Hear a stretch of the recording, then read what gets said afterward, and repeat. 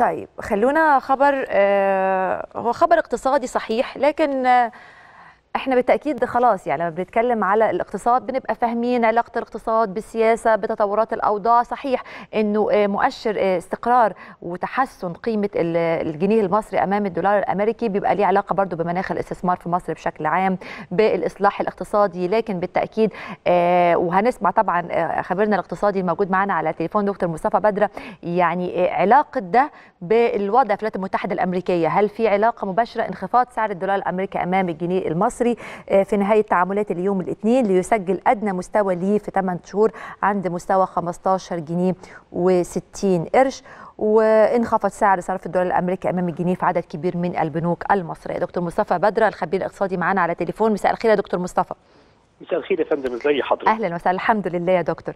يعني الخبر ده نفهمه في أي سياق؟ يعني الحمد لله إحنا طبعا شايفين مؤشرات ليها علاقة بالجنيه المصري خلال الفترة اللي فاتت وتوقعات الحمد لله يعني أثبتت صدقها وتحسن الجنيه بشكل ملحوظ. لكن النهارده تفسير حضرتك إيه لهذا النزول؟ نزول الدولار يعني أو تحسن الجنيه أمام الدولار بهذا الشكل.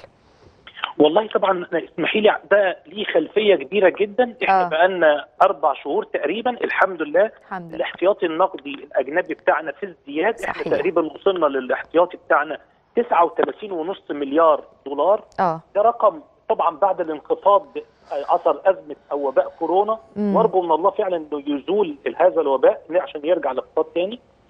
إحنا الاحتياطي بيزيد وبنسدد الأقساط الخارجية واقتصادنا الحمد لله في حالة من التوازن الكبيرة جدا. مم. اولا يا فندم مؤسسات التصنيف في الخارج بتدينا مش مستقر إحنا عندنا معدلات نمو أفضل. حضرتك يعني قلتي تعبير مهم جدا لاقتصاد النهارده بقى الشغل الشاغل للناس هو فعلا أسعار السلع النهارده يا فندم حقتها اعتبارا من بكرة الصبح. كل من بيقيم سلعته النهارده بالدولار هتنزل. مم. عشان المواطن النهارده يحس مش إحنا. كان صحيح. حضرتك تتذكري من سنتين ثلاثة الدولار في الطالع آه طب إنه بادي الدولار في النازل يعني. حقك اللي بيشتري عربية النهارده مثلا يلاقي أسعارها بتنزل تقييما للدولار مم. دي نمرة واحد نمرة اثنين كمان اللي عندنا فيها حاجة مهمة إن إحنا بنشوف ال... ال... التحسن الملحوظ ده من الموارد ده جاي للبنوك كلها فيعني في ثقة من الناس من بره بتحول العملة الأجنبية وبتشتري الجنيه المصري.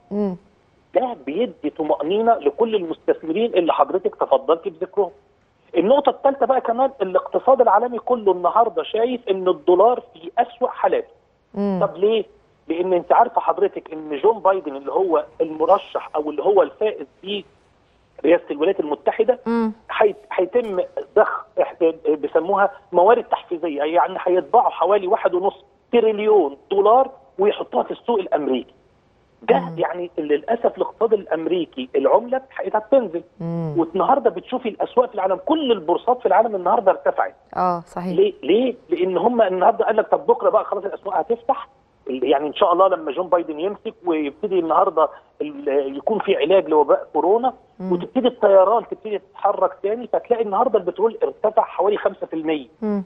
في حالة من الفرحة كبيرة جدا في الأسواق بتعم وإن شاء الله إذا فعلا صدقوا إن هو العلاج بتاع فيروس كورونا خلاص خلال يعني الشهرين القادمين أو زي ما بيقولوا كده على أول مارس القادم بالكثير هيكون في كل الأسواق يبقى فعلا اطمنوا إن الاقتصادات في العالم كلها هترجع تاني تعود السياحة ترتفع العملات المحلية أمام الدولار. تمام شكرا جزيلا. أخبار طبعا طيبة وإيجابية بنتكلم عنها والحقيقة إحنا طبعا لما بنتابع التقارير الدولية المعنية بالشأن الاقتصادي وكلامهم من فترة طويلة عن إن الجنيه المصري هو من أفضل العملات الأجنبية اداء أمام الدولار ووصلنا طبعا بهذا الشكل وإن شاء الله من تحسن لتحسن بإذن الله. شكرا جزيلا دكتور مصطفى بدرة على وجود حضرتك معنا.